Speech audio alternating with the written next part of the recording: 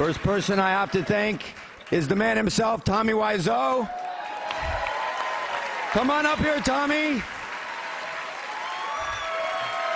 19 years ago,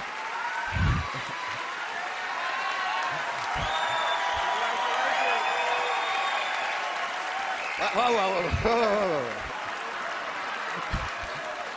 whoa. 19 years ago, he was stuck in traffic from the Golden Globes. He said to his best friend Greg, Golden Globes, so what? I'm not invited.